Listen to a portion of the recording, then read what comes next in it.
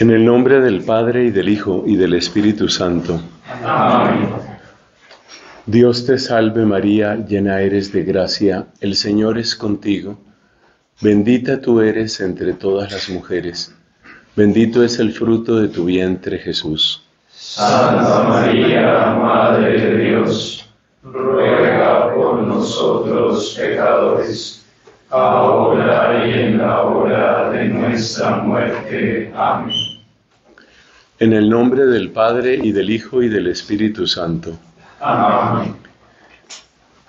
Ayer, mis queridos amigos, nos centrábamos en estos temas tan hermosos como una apretadísima síntesis de teología espiritual en torno a la santidad. Ayer era teología espiritual hoy nos vamos a dedicar a la historia. Pero recordemos que la conclusión de ayer precisamente es que Dios obra en la historia. O sea que nosotros vamos a revisar concretamente de lo sucedido en los siglos XV y XVI, eh, los siglos que tienen que ver más directamente con el contexto del Carmelo y Santa Teresa de Jesús, pero nuestro propósito no es hacer historia solamente por historia. Nuestro propósito es buscar la huella de Dios en la historia. Recordemos también que ayer ponderábamos lo que Dios hizo en algunos siglos en particular, siendo toda época apta para la santidad, hay épocas que han florecido de un modo muy peculiar y en esas épocas destacamos el siglo I, el siglo IV, el siglo XIII y el siglo XVI. Tenemos la esperanza de que los más jóvenes de ustedes, en su más avanzada vejez, puedan ver lo que muchos ya no alcanzaremos a ver, que es el comienzo, el florecimiento de un nuevo siglo de oro para la iglesia. La esperanza es que eso empiece a suceder a fines de este siglo XXI y que eh, cubra el siglo XXII, pero eso está en manos de Dios. En todo caso, vamos a hacer historia, nos vamos a acercar pues a los siglos XV y XVI. Eh, hay dos elementos, dos, puntos que van a atraer nuestra atención en esta primera conferencia. Primero, darnos cuenta que este, esta época, esos dos siglos, son tiempo de grandes cambios y son una época de fuertes desafíos, grandes cambios y fuertes desafíos.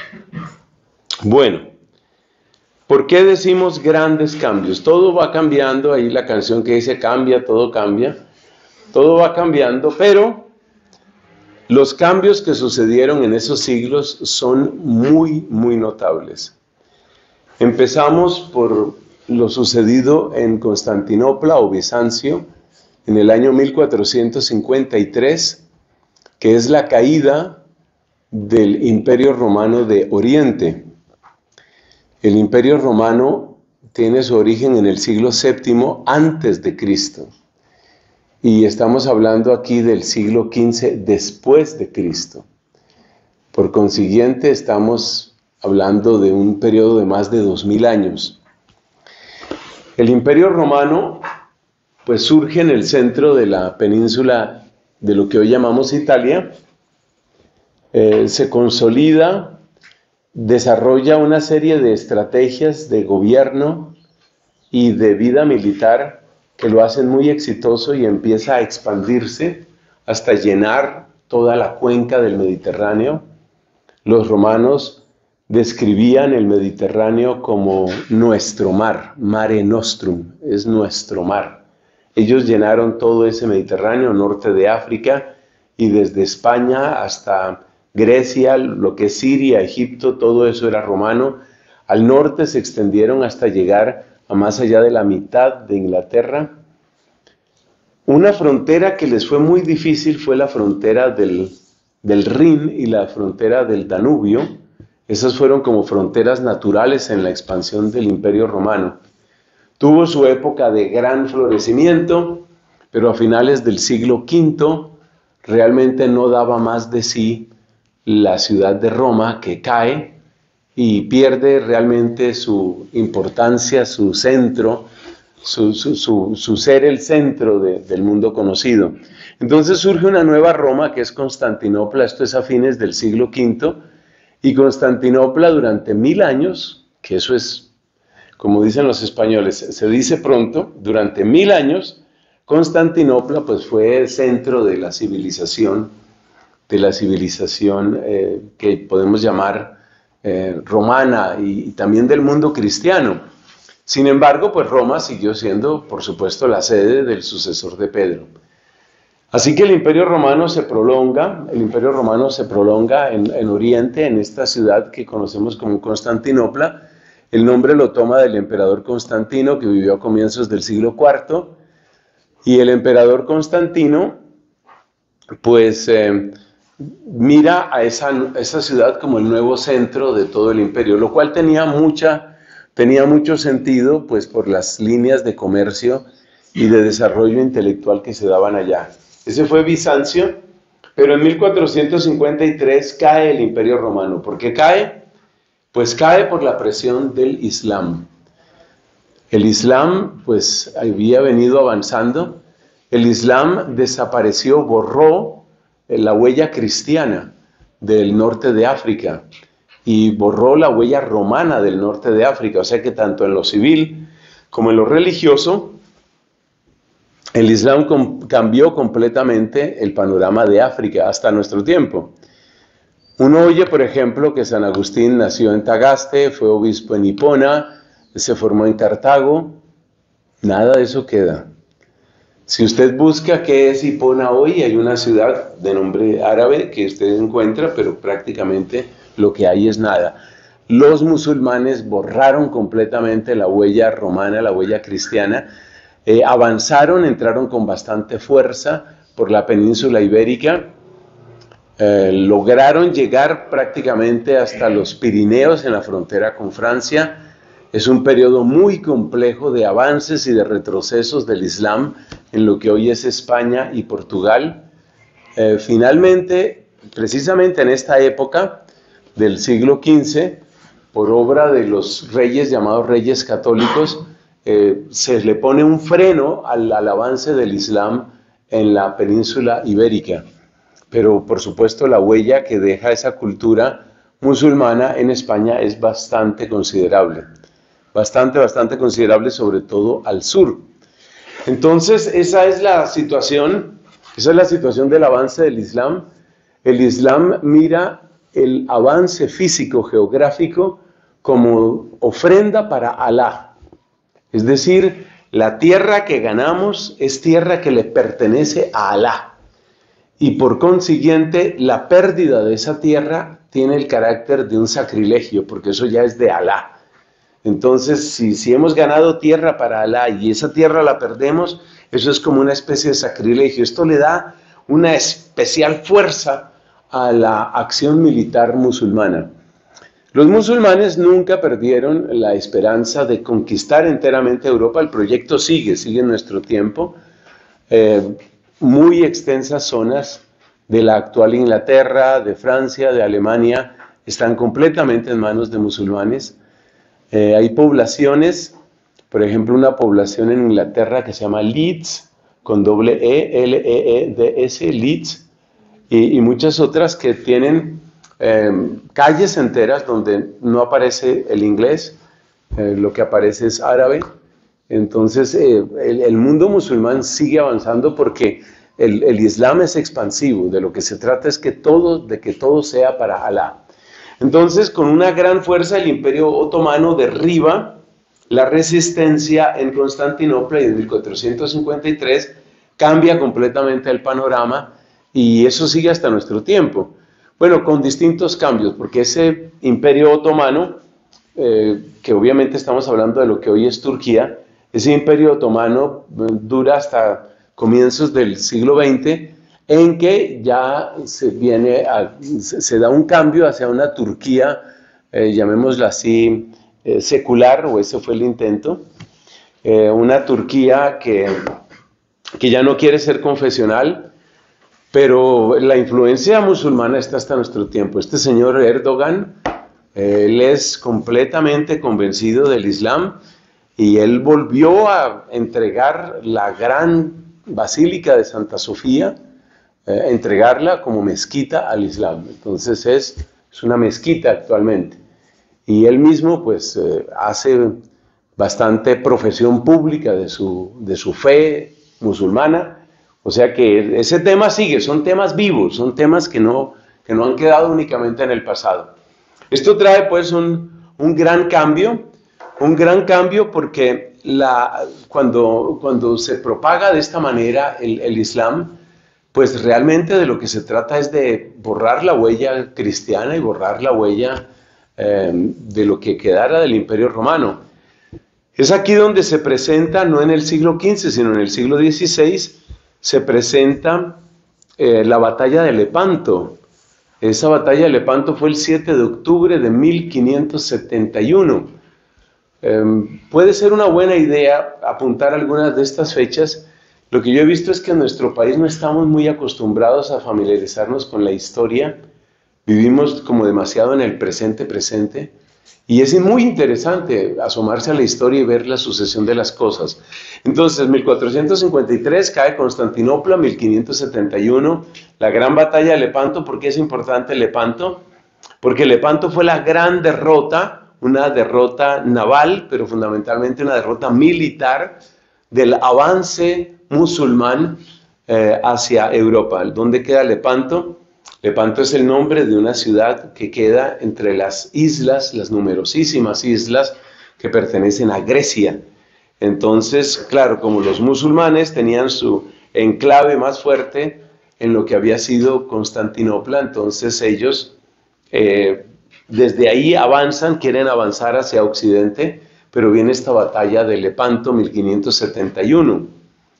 La batalla de Lepanto está ligada a nuestra Iglesia Católica y concretamente al Santo Rosario, porque eh, hay una historia bellísima de la oración constante que hacía el Papa de aquella época, el Papa Pío V, canonizado, Papa San Pío V.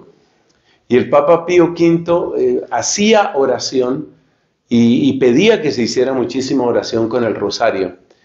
Según cuentan las crónicas de la época, él tuvo una visión, él estaba orando el rosario y el día 7 de octubre de 1571, o sea, el día de la batalla, él tuvo una visión.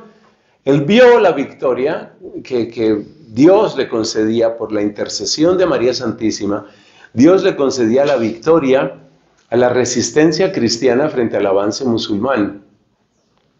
Entonces, eh, esa visión fue muy importante porque eh, ya él incluso mandó tocar campanas y la gente decía, pero ¿por qué están tocando campanas? Recuerde que no había celulares, no había televisión. Eh, la noticia tardó horas, creo que días tardó en llegar, pero ya el Papa sabía porque había tenido esa visión. Este, este hombre fue un hombre muy interesante, un hombre muy santo.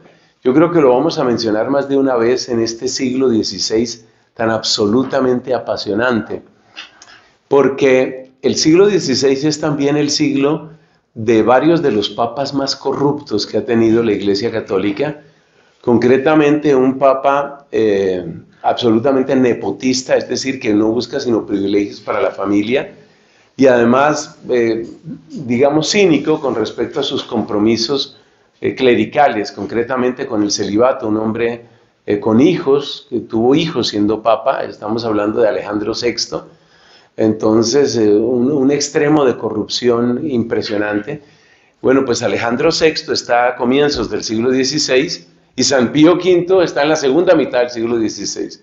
O sea que tienes a un papa súper corrupto y tienes a un papa enorme en la santidad. Eh, el papa Alejandro VI, pues es uh, amante, como suele suceder cuando hay lujuria y cuando hay cinismo, amante del lujo, de la extravagancia, y, mientras tanto te encuentras a este Papa Pío V, que es un, es un hombre sobrio, es un hombre de penitencia y es un hombre enamorado del servicio de los pobres. Eh, cuando empezaron a salir las primeras fotos de la jornada por los pobres, la jornada mundial por los pobres que ha querido el Papa Francisco que se celebre en todo el mundo, eh, esas fotos recuerdan lo que hacía Pío V esos grandes, esas comidas amplias para muchos pobres, era el estilo del Papa Pío V, él, hacía ese tipo de cosas. El servicio a los pobres y una vida sobria y una entrega total a la iglesia, eso es propio del Papa Pío V. El Papa Pío V entonces, eh, a raíz de esta victoria del 7 de octubre, establece una fiesta litúrgica que se va a llamar Nuestra Señora de las Victorias. Eso fue en 1571. Pocos años después se cambió el nombre y se le llamó la fiesta de Nuestra Señora del Rosario. Y es la razón por la que nosotros tenemos la fiesta del Rosario el 7 de octubre. Ya no se nos debe olvidar que fue 7 de octubre de 1571 la batalla de Lepanto. Como dato curioso, la batalla de Lepanto es también aquella en la que fue malherido eh, Miguel de Cervantes, que por eso era llamado el Manco de Lepanto. Entonces, bueno, eso sucede en esa época. El Papa Pío V nos deja esta celebración del 7 de octubre y es la razón por la que este servidor también hizo su primera comunión el 7 de octubre allá con los dominicos. Eso ya fue hace bastantes años no diré cuántos porque la población está bastante joven aquí. Pero solo les diré que sucedió, sucedió unos 400 años después de, de, la, batalla de Lepanto. Entonces, eh, esas son las transformaciones que se están viviendo. Ese es el tipo de cambios que se están viviendo. La civilización cristiana prácticamente naufraga o, está a punto de hundirse, pero la cosa no es tan, no es tan fácil, porque pues están también batallas como la de Lepanto. O sea, si hubo un fracaso como el de Constantinopla, pues también hubo, eh, también hubo una, victorias como la de Lepanto. Básicamente lo que está sucediendo en los siglos XV y XVI es el nacimiento de una nueva época. A esa época pues la llamamos precisamente el renacimiento. Entonces esa palabra es clave porque los siglos 15 y 16 son los que van a ver el renacimiento. Y la sola palabra renacimiento nos va a dar una orientación sobre las, eh, digamos, sobre la orientación cultural, nos va a dar una indicación sobre la orientación cultural, la tendencia social de este tiempo. ¿Por qué se llama renacimiento? Hay tanto que decir aquí, le pido a Dios que me ayude, que me permita expresarme y hablar con orden de qué es lo que sucede aquí con el renacimiento. Lo que podemos indicar es que el renacimiento es un retorno a la antigüedad clásica. Renacer, resurgir. Los pensadores y escritores, los impulsores del Renacimiento, veían el tiempo, los siglos inmediatamente anteriores, los veían como una etapa oscura. El esquema para entender el Renacimiento, el esquema del Renacimiento es este. Había una altura, una gran altura que se llama la antigüedad.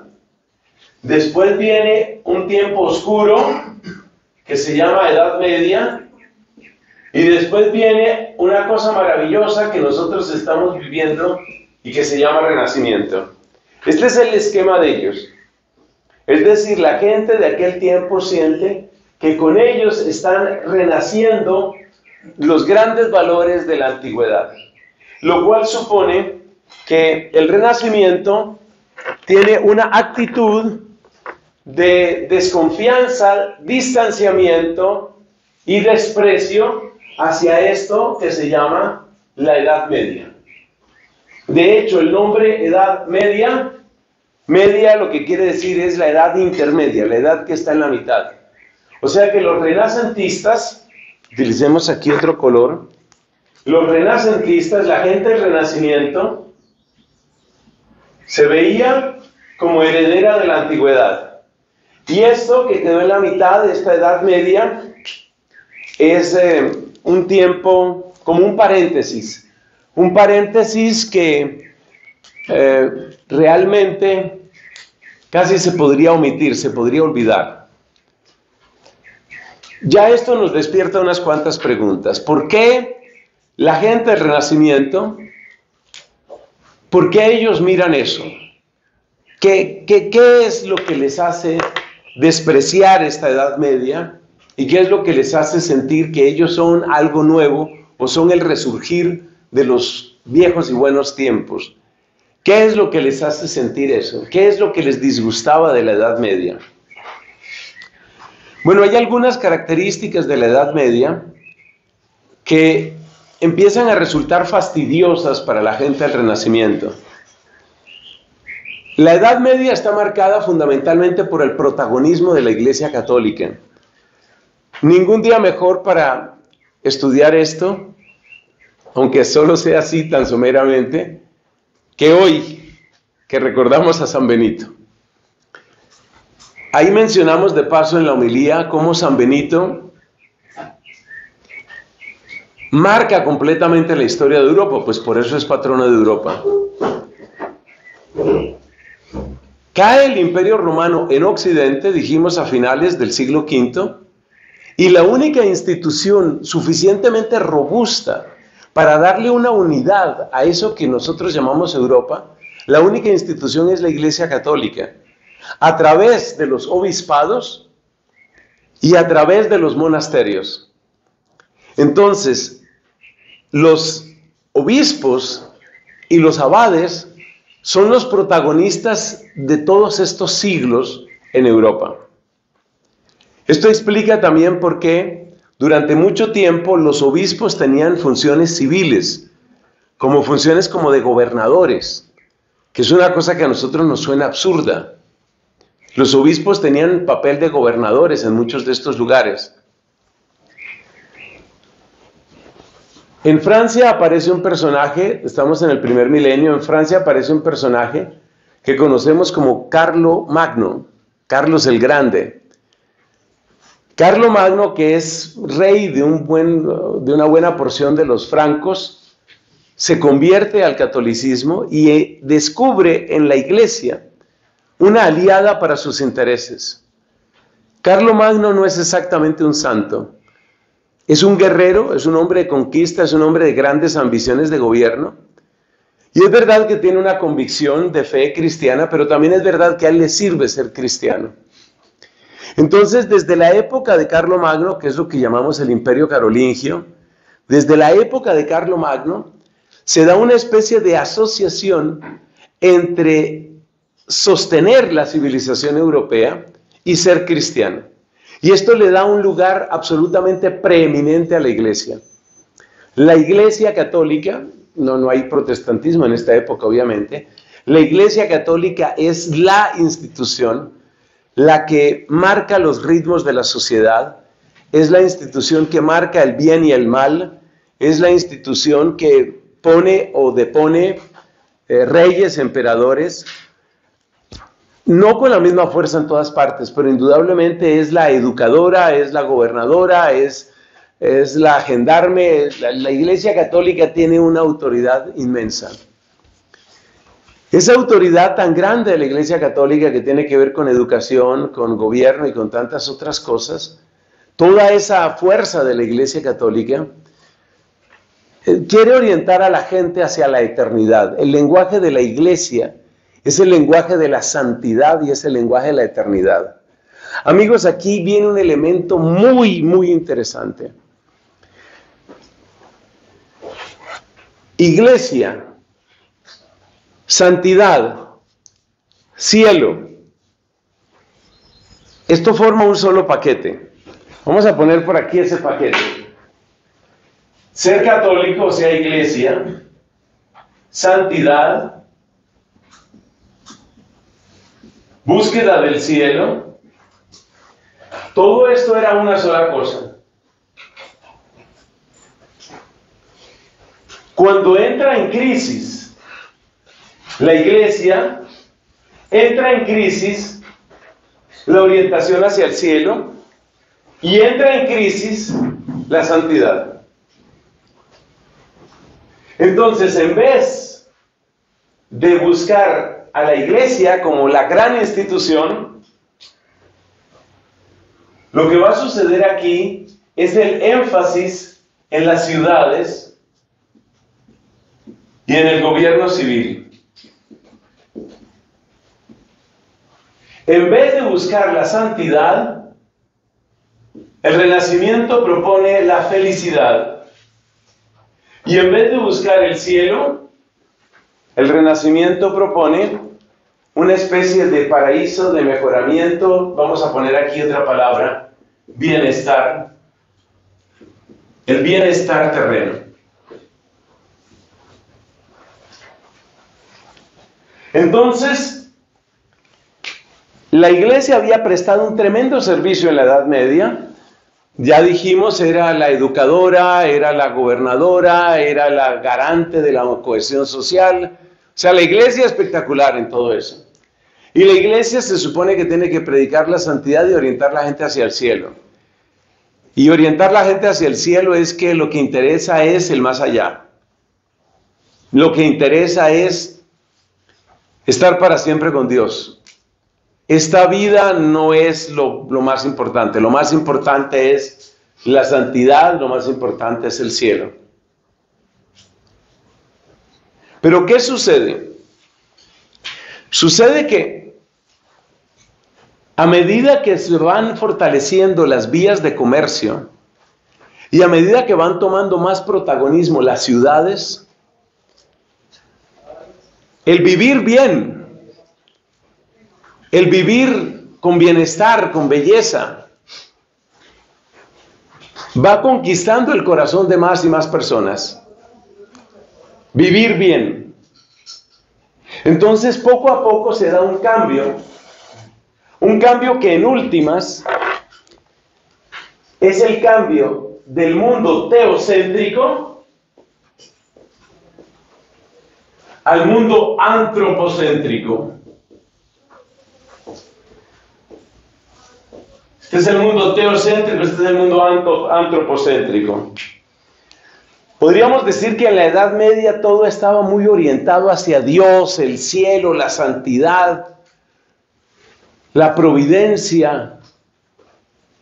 Pero a medida que las ciudades se van fortaleciendo, el dinero circula más, la variedad de los productos, las telas, las modas, los vestidos, las comidas, los viajes, a medida que el mundo aparece cada vez más atractivo, el cielo empieza a volverse una realidad más distante, menos interesante, menos fascinante. Entonces, aquí está el elemento fundamental del renacimiento. Se le ha llamado el giro antropológico. El giro antropológico, es decir, de alguna manera en la sociedad, Dios deja de ser la referencia permanente y cada vez más el ser humano, cada vez más el hombre, es la referencia. Eso se llama el giro antropológico. No pensemos, hermanos, que estamos aquí ante una oleada de ateísmo. No, lo que sucede no es ateísmo. Lo que sucede no es que la gente se despida de Dios en este momento. Estamos hablando de siglos XV, XVI. Pero este proceso, ciertamente, es el que va a llevar después, pasando por un filtro que se llama la ilustración en el siglo XVIII, va a llegar al ateísmo del siglo XIX. O sea, realmente este proceso va hacia allá.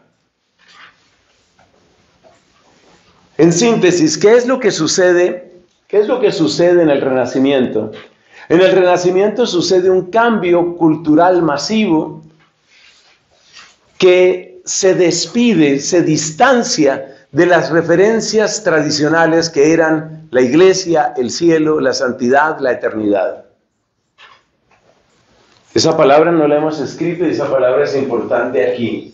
Aquí tenemos que poner la eternidad. Mientras que en el renacimiento lo que tenemos que poner es el aquí y ahora. ¿Qué fue lo que potenció ese cambio? Ese cambio lo, lo potenció el gobierno civil cada vez más fuerte y cada vez más independiente de la autoridad eclesiástica y a su vez en una gran relación el comercio. Muy específicamente, el comercio en Italia. Los puertos de Italia tuvieron una relevancia inmensa porque eran lugares de continuo comercio. Piensa, por ejemplo, Venecia. Por Venecia pasa riqueza en grandes cantidades, productos en grandes cantidades, telas, perfumes, joyas, maquillaje. Entonces la gente cada vez puede ponerse más bonita, más agradable. Las casas cada vez se pueden adornar más. Las ciudades cada vez son más grandes. A medida que las ciudades se vuelven más grandes y a medida que el lujo y un cierto bienestar va creciendo, la referencia al cielo, a la eternidad, a la iglesia va siendo menos importante. Es decir, que en el renacimiento hay una profunda raíz material, por no decir materialista. Es, es todo ese progreso. Adquieren entonces protagonismo personas que son las que hacen el dinero, las que crean la riqueza. Es el caso, por ejemplo, de la familia Medici, una de las familias más famosas de la Edad Media. La familia Medici, pues, se encarga de embellecer su ciudad. Toman aquella Florencia y un día la gente ve que hay trabajos por allá en una de las plazas y que están haciendo, ¿no? Pues una fuente con un conjunto escultórico. ¿Va? Qué bueno, qué bello.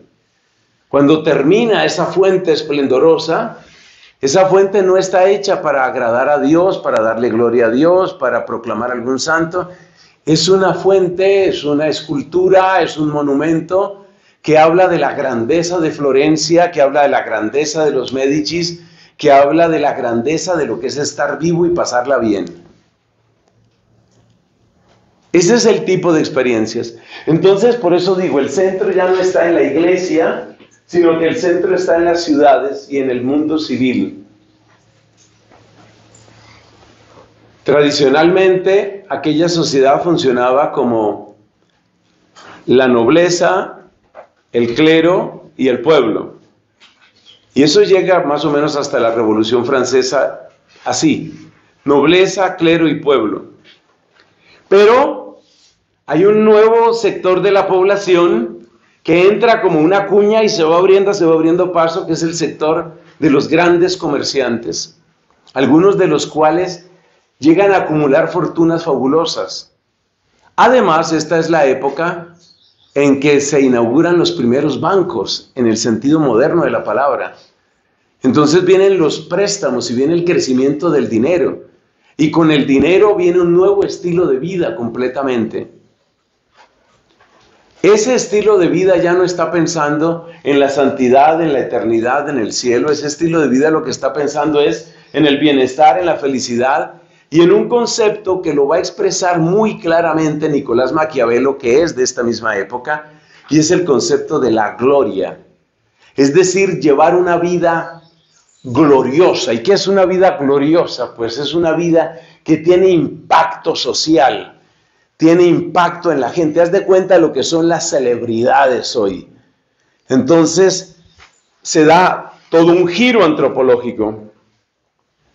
Ya lo importante no es directamente la santidad, ya lo importante no es Dios, ya lo importante no es cómo preparar una buena muerte. Algunos dicen, que tal vez es una exageración, que los medievales solo vivían para preparar la muerte. Y de hecho, pues ustedes saben que en muchas representaciones pictóricas se presenta a los santos con una calavera el papel de la calavera es la meditación sobre la muerte.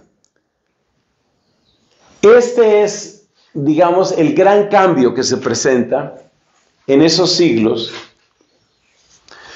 Hay un autor italiano que murió muy joven, que se llama Pico de la Mirándola.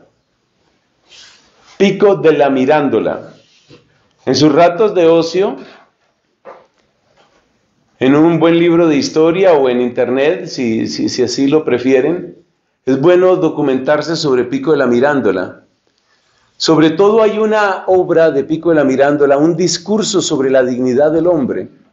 Ese discurso es de la altura de 1470, 1480. Y el discurso sobre la dignidad del hombre es como una declaración, una declaración de independencia. ¿En qué sentido? Pico de la Mirándola, repito, no era agnóstico, no era ateo, él era un creyente, él creía en Dios. Pero Pico de la Mirándola lo que va a destacar es la fuerza que tiene el ser humano para labrar su propio destino. El hombre tiene la capacidad de labrar su propio destino. El mensaje de Pico de la Mirándola es, tú puedes hacer de ti lo que tú quieras. Puedes elevarte hasta ser prácticamente un ángel o puedes hundirte hasta ser prácticamente un demonio. Puedes ser una bestia que se revuelca en el fango o puedes ser un sabio que visita las alturas. Tú puedes hacer de ti lo que quieras. Y ese mensaje, ese mensaje del, de, Pico de la Mirándola es muy, muy representativo. Podemos decir que el individuo, con su particularidad, con su subjetividad, aparece aquí con toda claridad. En la Edad Media, el individuo se miraba fundamentalmente como miembro de una comunidad. Por ejemplo, miembro de un feudo que sirve a tal rey, que pertenece a tal abadía o a tal parroquia. En la Edad Media la individualidad no tiene tanta relevancia lo fundamental es la pertenencia a la comunidad, a la sociedad, al rebaño, al grupo. Eso es lo fundamental. Pero en el renacimiento, poco a poco el individuo cada vez se vuelve más importante, porque el mensaje de Pico de la Mirándola es, es ese. El mensaje de Pico de la Mirándola es, mira, eres tú quien puede hacer de su vida una historia de ascenso o una historia de abismo, eso lo escoges tú. Entonces, lo que surge en el renacimiento es el individuo, es la subjetividad. Es el individuo, eso es lo más importante.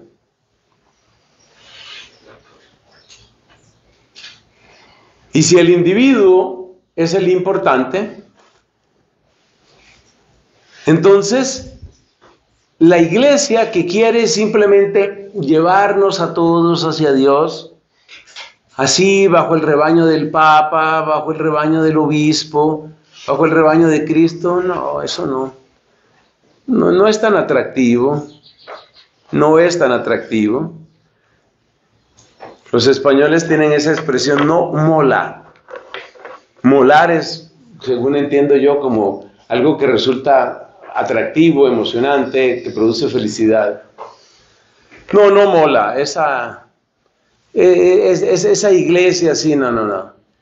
En cambio, la persona que destaca, ¿has visto el palacio que han hecho, el nuevo palacio que han hecho los Medici? Impresionante. Entonces la gloria, el esplendor, el impacto social, el aquí y el ahora, la felicidad, la el bienestar, el bienestar del individuo. Es el individuo el que importa aquí. Esto que es un fenómeno cultural luego va a entrar de lleno en la iglesia. Mira la manera de argumentar de Lutero. Si tú quieres discutir conmigo, a mí no me vengas con argumentos metafísicos, ni de que la verdad, ni nada de eso. Mi Biblia y mi conciencia, ese es el lema de Lutero. ¿Te das cuenta del individuo? Entonces, este ser humano que descubre su capacidad de hacerse, de esculpirse él, este ser humano que descubre que, que le gusta el mundo, que el mundo no es simplemente una amenaza, sino que el mundo también es bello, la música es bella, la pintura es bella, el cuerpo humano es bello y comer bueno es muy bueno. Conclusión, este ser humano ve a la iglesia con bastante distancia y a veces con burla. En varios de los escritos de personas de este tiempo vemos que la iglesia se mira casi con burla o con lástima. Se puede detectar en los escritos de un clásico como por ejemplo Petrarca. A finales del siglo XVI hay un autor que es muy interesante, Montaigne, se, escribe el apellido, Michel, Michel de Montaigne se pronuncia. Michel de Montaigne es un tipo muy representativo, finales del siglo XVI, es completamente contemporáneo de Teresa, pero pues este, obviamente francés. Michel de Montaigne no le preocupa la santidad, no le preocupa el cielo. O mejor dicho, él verá qué le preocupa. Y él hace una serie de escritos que inauguran un nuevo género literario que se llama ensayo. Los ensayos, ese es el estilo de Michel de Montaigne, de Montaigne. Pero lo más interesante de Montaigne es que Montaigne escribe más o menos de lo que se le da la gana. Entonces, por ejemplo, un día puede escribir una cosa como el arte de cortarse las uñas. Otro día escribe cómo se debe cocinar bien un marrano. Otro día escribe cuál es el tamaño perfecto de los senos de una mujer. Otro día escribe el movimiento de los astros. Otro día escribe qué es la paz interior. Él escribe de todo, lo divino y lo humano. No tiene temas restringidos. Todo le interesa y a la vez todo le puede fastidiar. Él habla, simplemente habla desde sí, es, es el discurso desde el yo. Esto es lo que yo siento.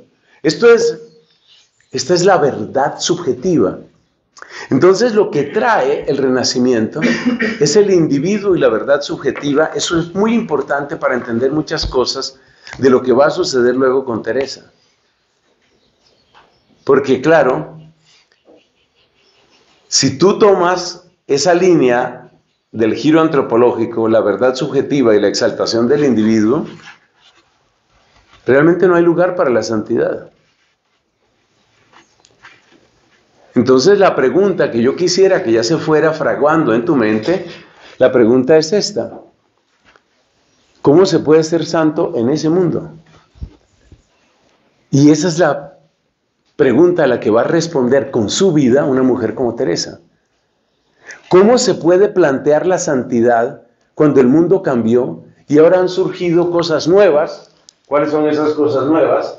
Pues ha surgido el individuo, individuo exaltado, enaltecido, exaltado. El individuo, la subjetividad, ¿cierto? Al estilo Montaigne. Yo escribo lo que yo quiera. Entonces puedo escribir de la naturaleza, puedo escribir de la amistad. A ver, ¿qué es un buen amigo? O puedo escribir de, ¿qué es un amante perfecto? Yo escribiré lo que yo quiera. Y voy a decir mi verdad. Entonces la subjetividad es la que produce la idea de mi verdad. Entonces, ¿qué es lo que, cuál es el desafío que van a encontrar hombres como Ignacio de Loyola, como Teresa de Ávila, como San Juan de la Cruz? ¿Cuál es el desafío que van a encontrar? Pues el desafío de ellos es cómo hablar de santidad ahora que se ha destapado una olla nueva. Y la olla nueva que se ha destapado es, hey, somos sujetos, somos sujetos. ¿Y sujeto qué quiere decir? Que tenemos gustos, que tenemos placeres, que tenemos preferencias, que cada uno de nosotros ama su propia individualidad.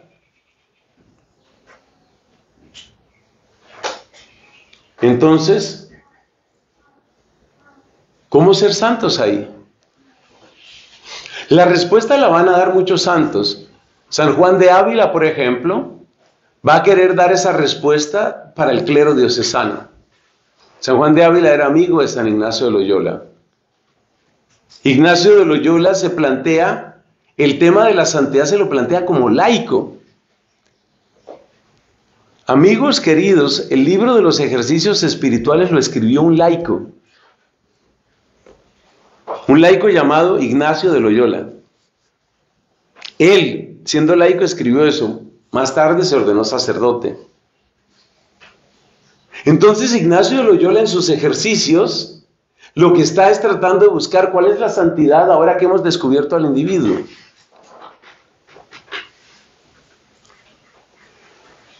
Como estos renacentistas ya no podían, sentían que no podían conectar con el lenguaje medieval, no, no conectaban con eso.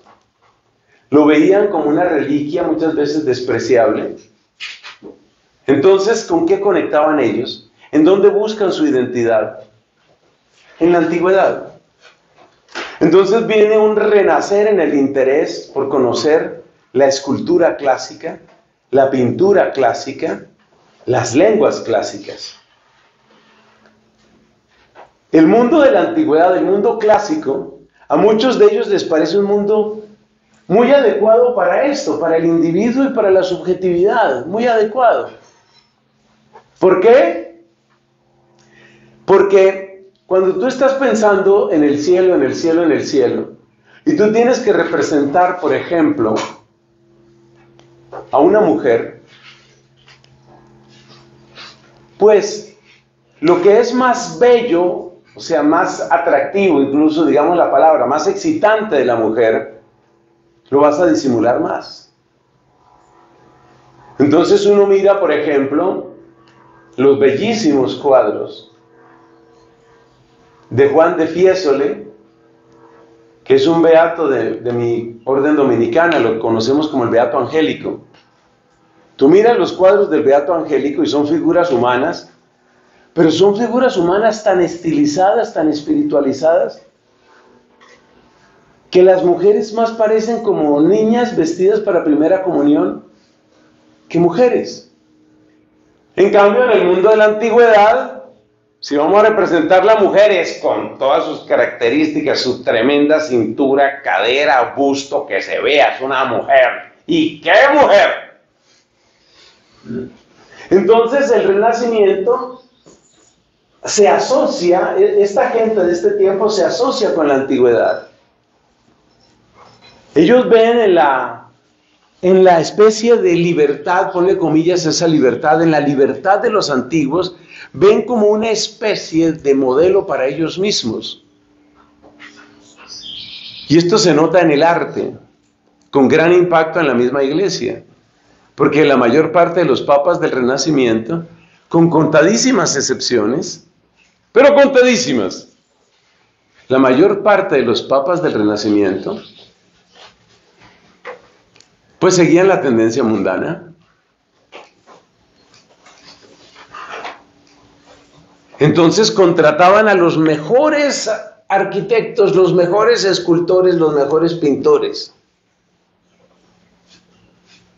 Capilla Sixtina, Julio II era el Papa, Papa guerrero, dispuesto a matar o hacerse matar por los estados pontificios un hombre de esta tierra, de este mundo. A mí mi tierra, mis cosechas y mis ingresos me los cuidan. Y si hay que atravesar con la lanza a los enemigos, se les mata.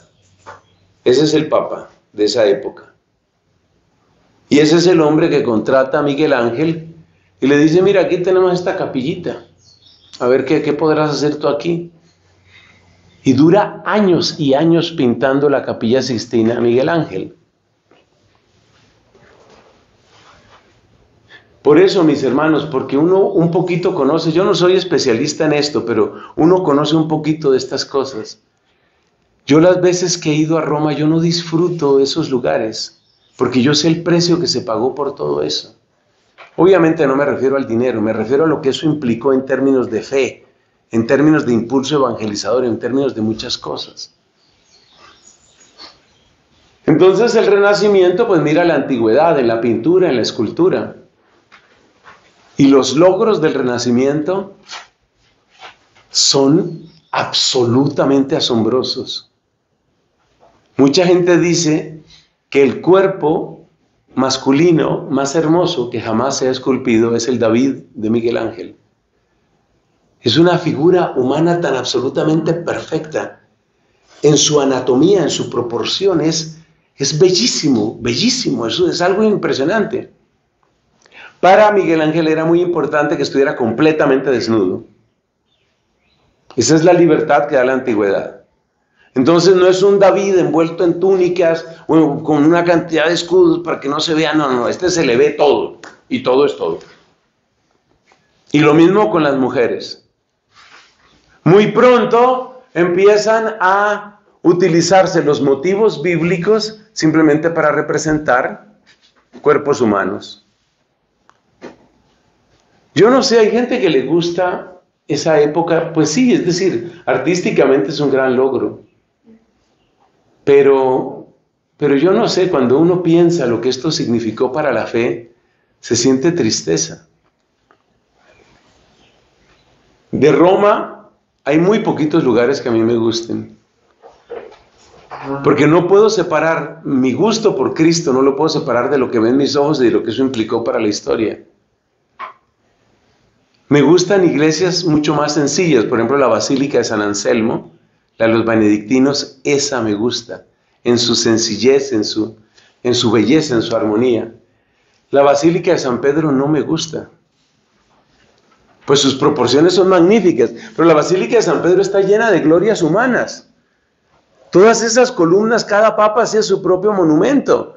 Entonces, cuando yo me muera, aquí tiene que haber una tremenda escultura que represente la ¿La qué? La gloria, la gloria de ese papa, y la gloria del otro papa, y la gloria del cardenal, y la gloria del palacio cardenalicio, y la gloria, la gloria humana, ¿y dónde queda la gloria de Dios? Repito, hay gente que eso no le preocupa, pero hay mucha gente a la que sí le preocupa. Y realmente ese es un problema porque uno no sabe qué hacer con eso. O sea, ¿qué haces con todos esos tesoros? Tú no puedes sacar todo eso, vendérselo al Museo Británico. Pero yo estoy seguro que muchos sentimos, esta ya es una opinión completamente personal, muchos sentimos que ojalá Dios permitiera otra manera de vivir la iglesia, otra, otro rostro para presentarse la iglesia. Dijo el Papa Francisco cuando empezó su pontificado, yo quisiera una iglesia pobre. Y una iglesia pobre para los pobres, una iglesia servidora. Pero la época del Renacimiento fue la que marcó pues todo eso. ¿Y ahora qué haces con la Basílica de San Pedro? Tú no puedes eh, arrendarla y que se vuelva un cine. Tú no puedes hacer eso. Pero lo mínimo que yo haría, pero por eso no me eligen papa, lo mínimo que yo haría, lo mínimo, así pues mínimo, mínimo, quitar todos esos monumentos de las columnas a los papas, no sé cuánto, y si se, y si se más, meter todo eso en un museo donde se vean figuras humanas y tratar de que la Basílica de San Pedro, que es como centro palpitante de la cristiandad, tuviera otro aspecto. En ese sentido, San Juan de Letrán, que es propiamente la catedral del Papa, es muchísimo más sobria. Muchísimo más sobria. Entonces el problema que tenemos es este que el renacimiento, por vía de prosperidad, de felicidad y de bienestar, el renacimiento destacó el papel del individuo, el lugar del individuo de la subjetividad. Y la gran pregunta a la que tienen que enfrentarse todos estos santos es esa. La gran pregunta es, ¿cómo se puede ser santo en este nuevo contexto? Que si te das cuenta es exactamente la misma pregunta que nosotros tenemos que hacernos. ¿Cómo se puede ser santo con celular? Suponiendo que le presten a uno el celular. ¿Cómo se puede ser santo con internet? ¿Qué cambios están sucediendo en nuestra época? Y en eso hay todo tipo de respuestas, para mi gusto algunas demasiado light. Hay un texto falso, que o sea, eso no lo dijo el Papa, pero que se le atribuye al Papa Francisco, ¿no? Queremos santos que utilicen jeans y tenis y no sé qué. ¿Qué es ser santo? ¿Qué es ser santo en esta época? Esa es la pregunta que ellos tuvieron que hacerse.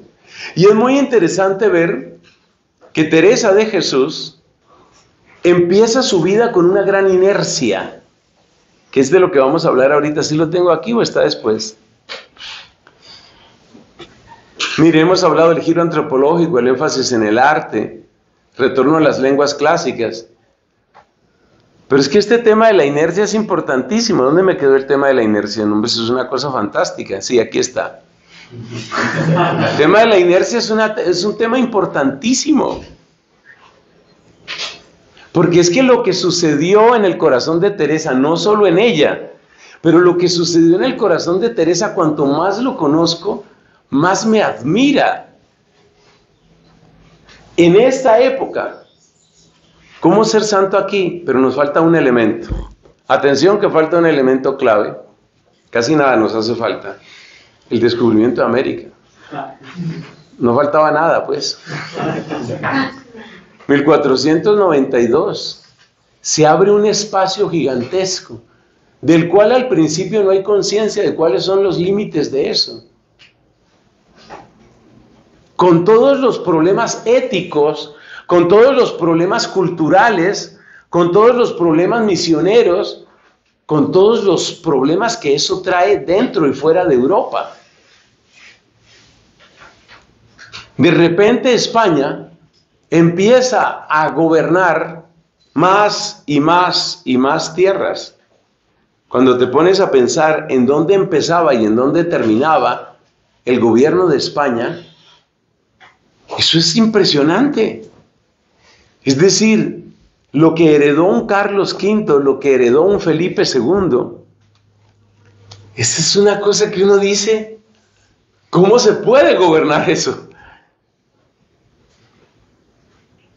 Entonces, ha aparecido el individuo, ha aparecido la subjetividad, pero ha aparecido también un mundo nuevo. Un mundo ilimitado. Y ese mundo nuevo también significa la posibilidad de cosas inesperadas, algunas de las cuales parecían imposibles. Empecemos por el clima, el clima nuestro. Este clima que para nosotros es pues más o menos natural, este clima esto es una, una locura una fantasía para los europeos. Para muchos europeos que así es, es, el clima y así es que todo el año, sí, más o menos así es todo el año. Una cosa inconcebible. Las frutas, los sabores, las enfermedades, las posibilidades, la riqueza, las nuevas formas de arte. Entonces aquí aparece otra palabra que es la palabra novedad. Un mundo nuevo, novedad.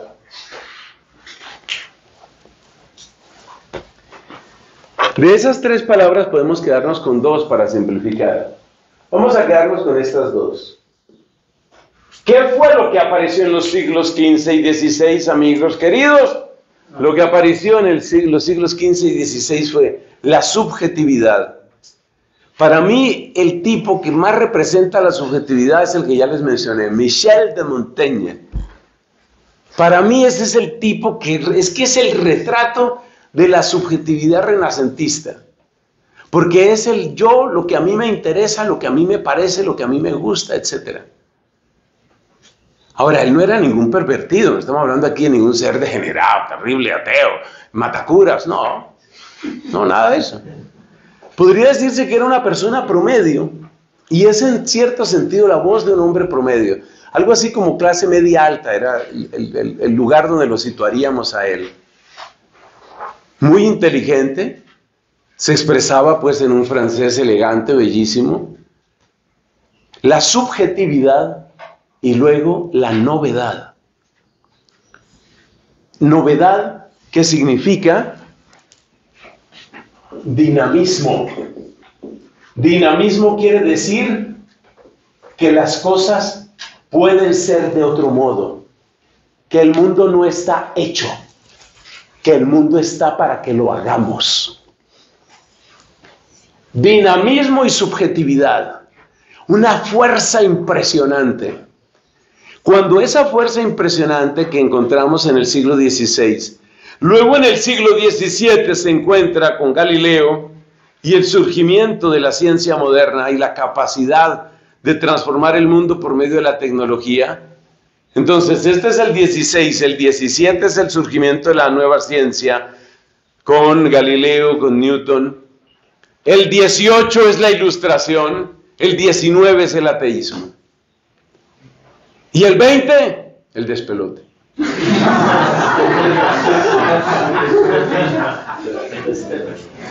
Entonces nosotros somos hijos del despelote. Dinamismo y subjetividad.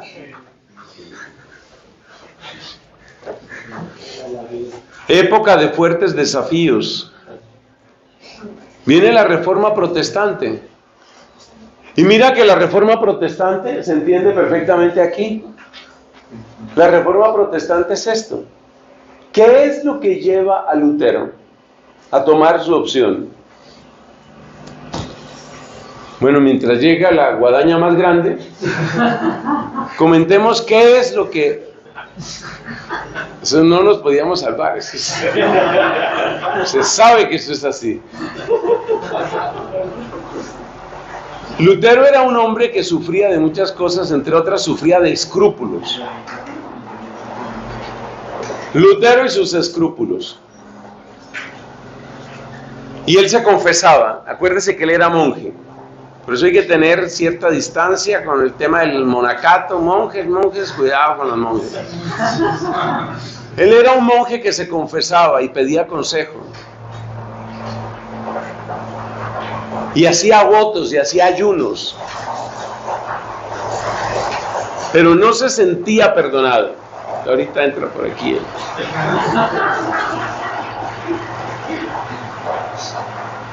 No se sentía perdonado.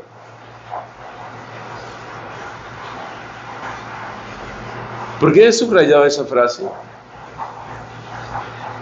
Subjetividad. ¿Cuál es la teología clásica católica sobre la confesión? La teología clásica católica es que si tú manifiestas tu arrepentimiento y tu propósito de enmienda y el sacerdote te da una absolución válida, tú estás perdonado. Ese es un dato objetivo. Estás perdonado. Pero ¿qué le pasa a mucha gente? No me siento perdonado. Entonces Lutero no se sentía perdonado, no se sentía justificado, no se sentía redimido. En Lutero lo que palpita es esta subjetividad que tiene su origen en toda esta historia. En Lutero lo que palpita es esta subjetividad, es que no me siento perdonado, no me siento. Yo no, yo no siento la fuerza de la gracia. Entonces, Lutero pierde fe en la confesión y pierde fe en los sacerdotes y están todas estas historias de las indulgencias y la venta de indulgencias y tantas imágenes y devociones y novenas. Y ahora qué, ¿no? Que toca la novena nuestro Padre San Agustín. ¿Qué deja la novena esa? Bueno, pues deja limosna para el convento. Lutero siente que es un falso, que es un hipócrita, que todo eso es como una obra de teatro ridícula, que eso no tiene sentido, que ninguna ordenación va a cambiar el corazón de nadie. Él mismo había sido ordenado. Ninguna ordenación cambia el corazón de nadie. La ordenación es simplemente el modo de institucionalizar poder. Yo no creo en eso. Yo no creo en eso. Yo creo en el bautismo, sí. En el bautismo creo.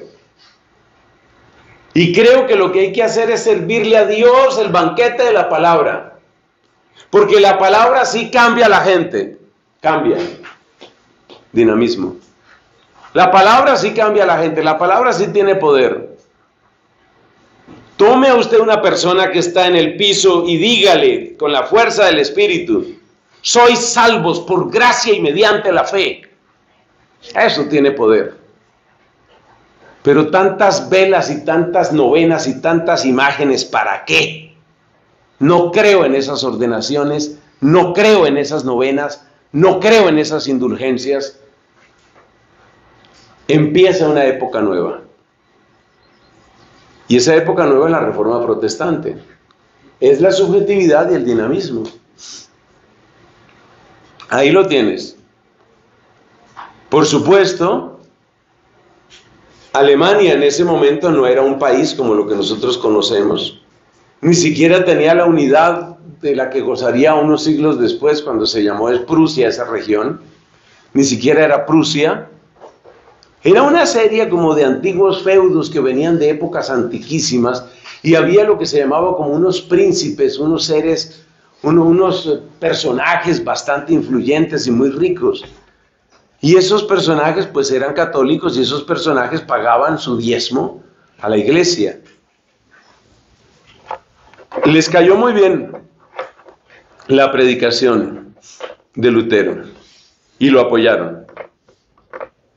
Muchos ya lo han dicho, yo solo lo voy a repetir. No hubiera surgido la reforma protestante sin ese apoyo económico y político de aquellos príncipes alemanes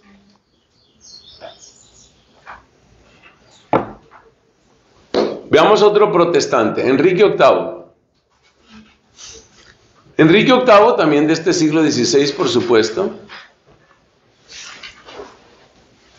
es un hombre completamente metido en esta lógica, la felicidad, el bienestar, lo terreno.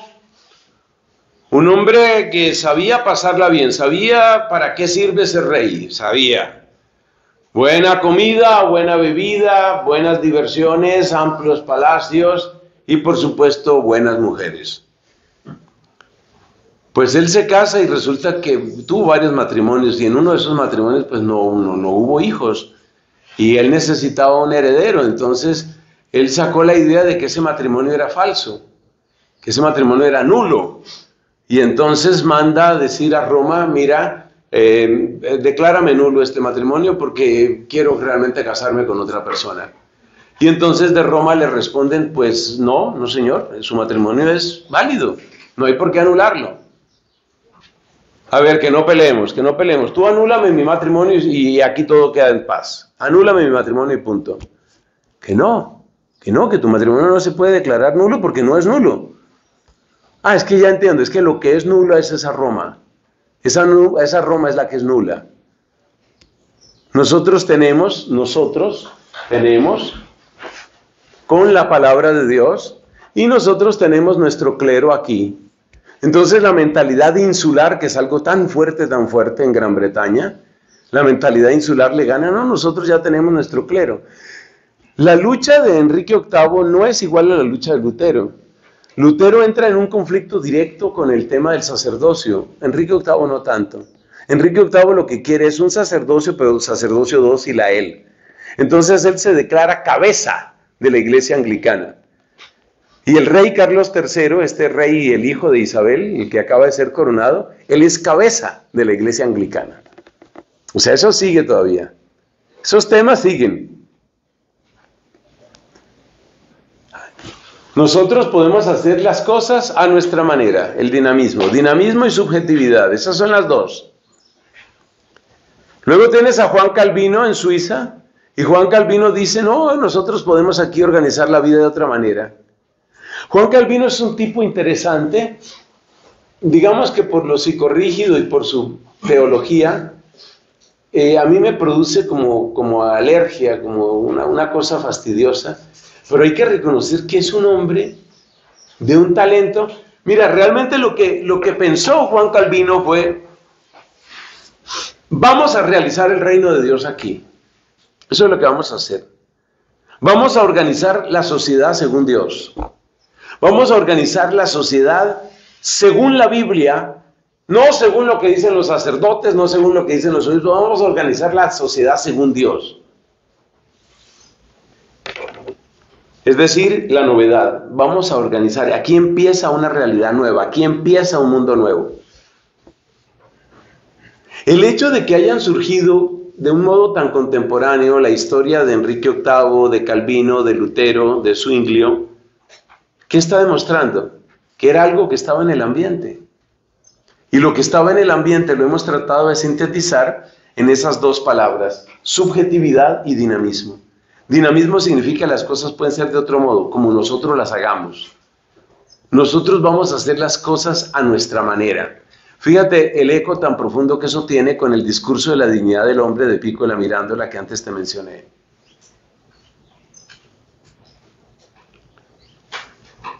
A todas estas, pues la autoridad de la iglesia estaba cuestionada y disminuida. Imagínate un papa ridículo, corrupto, como Alejandro VI. Un hombre que inspiraría desprecio si fuera simplemente un rey de este mundo y que inspira todavía mucha más indignación siendo papa. Y así otros. Hay corrupción en buena parte de la jerarquía. Y el último elemento para terminar esta conferencia, el último elemento es la piedad por inercia, que habíamos mencionado la palabra inercia.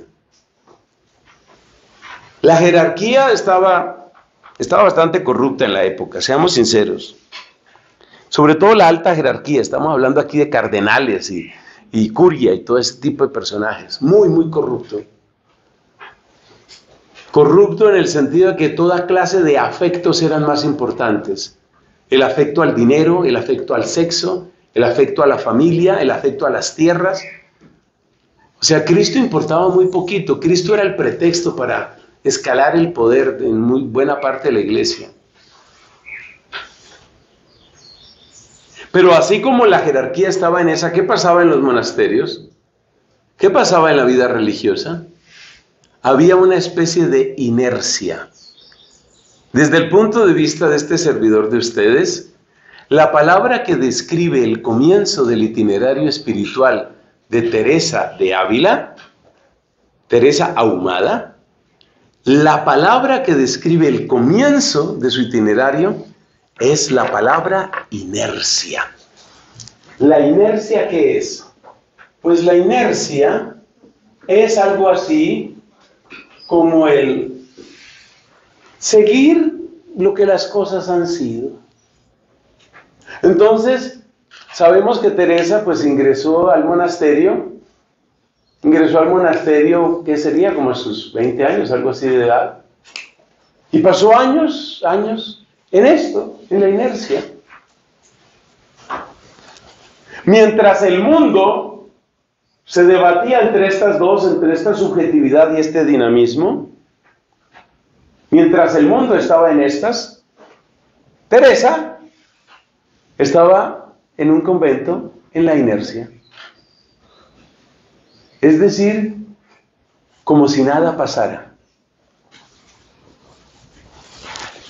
como si nada pasara, hasta que un día algo pasó en ella. Y tenemos que agradecerle la misericordia a Dios. Algo pasó en ella, nada pasaba. Monasterio tranquilo. A ver, el monasterio donde ella estaba, pues no era un monasterio terrible, que tuviera grandes perversiones, una corrupción inconcebible, no. Era un monasterio marcado por la inercia. Es decir, una especie de mediocridad tranquila. Una especie de mediocridad aceptada y abrazada.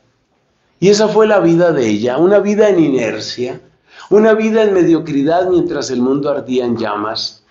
La herejía pululaba, se necesitaban misioneros, la iglesia se despedazaba, la corrupción abundante, y Teresa rezando en la mediocridad y en la inercia. Bueno, pero ahí no terminó la historia. Gracias a Dios ahí no terminó.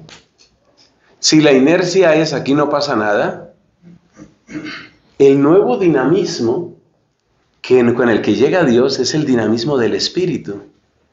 frente al dinamismo de Enrique VIII, que dice, ah, pues nosotros hacemos nuestra iglesia, frente al dinamismo de Calvino que dice, ah, pues nosotros diseñamos la sociedad, frente al dinamismo de Lutero que dice, nosotros podemos reconstruirlo todo desde la Biblia, frente a esos dinamismos, el dinamismo del Espíritu Santo toca el corazón de ella y la pone en contacto con la fuente misma. Y aquí es donde empieza lo más interesante. La pone en contacto con la fuente misma con la raíz. ¿Por qué eso es tan importante? Porque toda auténtica renovación espiritual siempre es desde la raíz. Y la raíz se llama Cristo Jesús, muerto para la gloria del Padre y para salvación nuestra.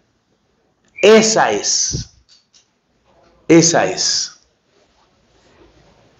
Esa es la renovación. El Espíritu tocó a la puerta del corazón de Teresa. La pasión de Cristo tocó a la puerta del corazón de Teresa. El amor de Cristo la derrumbó como un rayo que caía del cielo. Y entonces ella experimenta en lo profundo de su ser, en su subjetividad, ella experimenta el dinamismo del Espíritu. Mientras que los hombres de este mundo estaban buscando la subjetividad como realización de mi propio deseo o capricho, entonces ella cambia y ve la subjetividad como el espacio de la acción de Dios. Y mientras que los Medici quieren hacer castillos cada vez más grandes, Teresa dice, a mí me interesa otro castillo, el castillo interior. Gloria al Padre, al Hijo y al Espíritu Santo como era en el principio, ahora y siempre, por los siglos de los siglos. Amén.